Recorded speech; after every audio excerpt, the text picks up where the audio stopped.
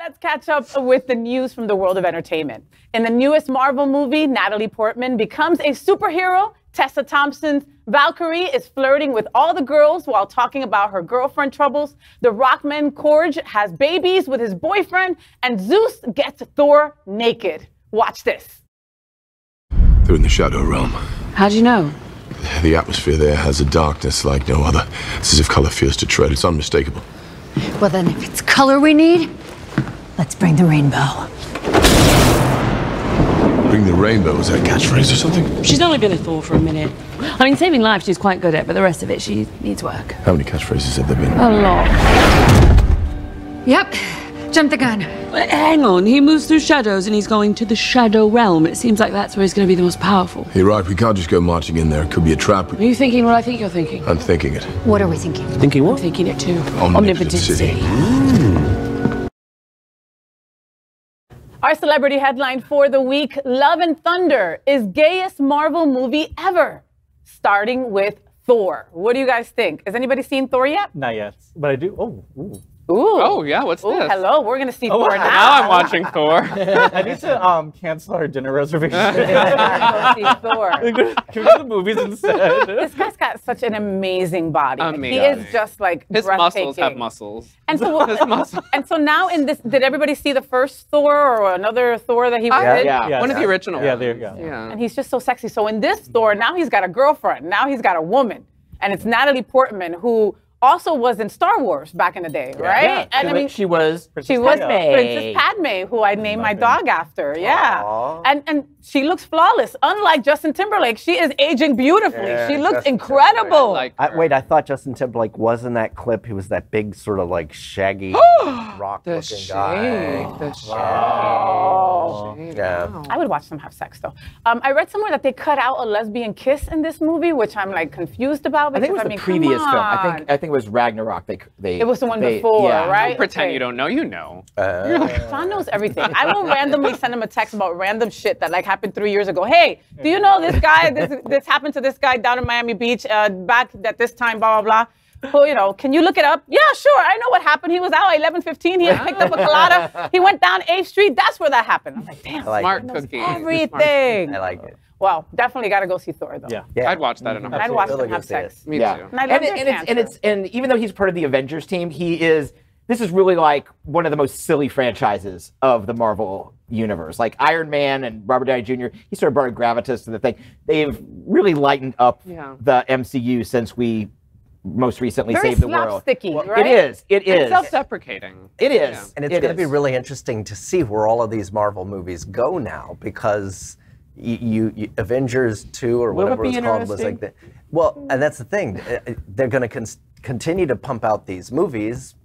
Are they going to be sillier? Are they going to be more adventurous? Gayer. There's so many di- directions where they could go. Honestly, as a person who watches Marvel movies and superhero movies, I will stop whenever you know Captain America's on. oh, yeah, Yeah, but do you remember like back when X Men was a thing and like the storylines were serious? Mm-hmm. You know, there was mm-hmm. very little slapsticky or funniness to it. It was like, you know, and I related to it as a queer person because it was these people with superpowers that nobody really understood them and they had to stick together for the greater good. And no, very, always very a similar to us and our chosen family. It was always know? a metaphor for LGBTQ people. Like mm-hmm. I mean, X Men. X Men's always. I've always been a nerd. I used to read X Men. It's like I've never been a comic book nerd, but I read. I guess I was.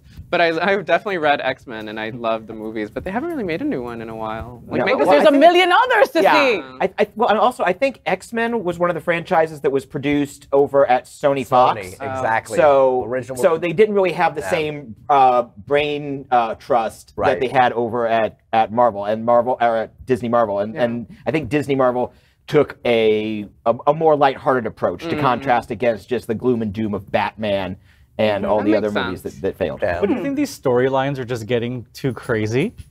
I think there's just. But life is crazy. So A- like a how man dressed in an iron suit isn't crazy. I mean, I'm into it. We all have our don't don't No, don't but kink I mean, shame. like, don't kink shame. don't kink shame, Scott. there comes comes a time where it's like you know you go to the movies to escape reality. Yeah. Yeah. You know to be able to enjoy something not of this world, you know, and just something imaginary.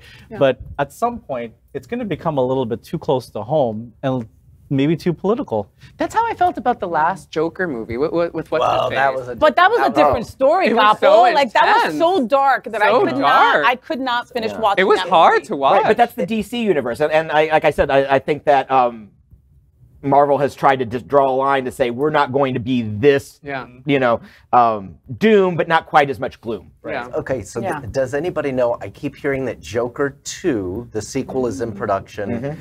and that Lady Gaga is playing the Harley Quinn character, and it's Oh. going to be a musical.